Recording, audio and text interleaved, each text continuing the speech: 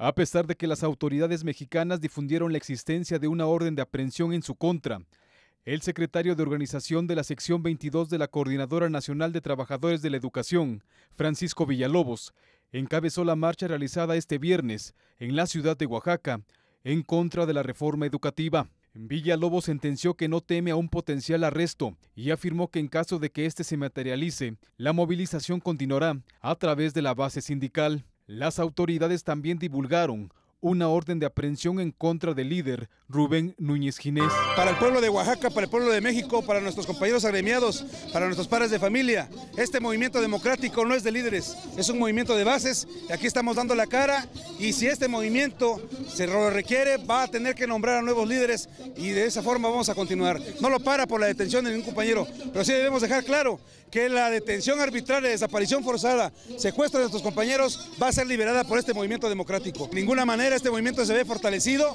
y le mandamos una, un mensaje también al instituto que hoy hace un despliegue de eh, notificadores a las regiones que ya lo están esperando ya en las escuelas, que los pueblos están organizando y vamos a ver qué, qué resulta de todo esto.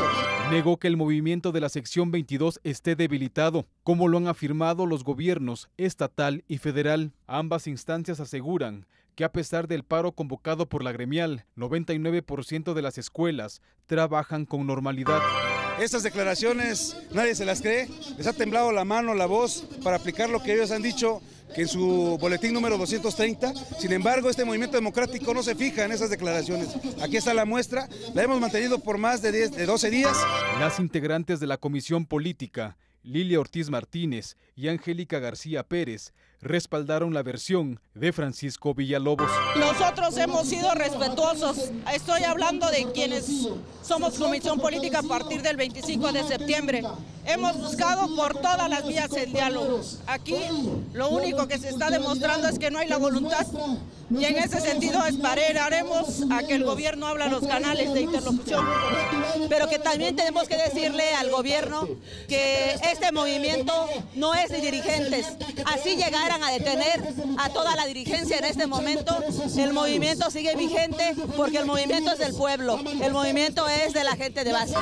Aseguraron que no buscan un enfrentamiento con la policía, como se ha suscitado en Chiapas, pero a la vez descartaron que la presencia de las fuerzas de seguridad los intimiden. A ver, nosotros no estamos apostando a un enfrentamiento con la policía. Nosotros estamos exigiendo una mesa de diálogo y el gobierno tiene que la voluntad política de hacerlo, puede hacerlo. Y en esa parte de voluntad política es la que nosotros debemos de atender.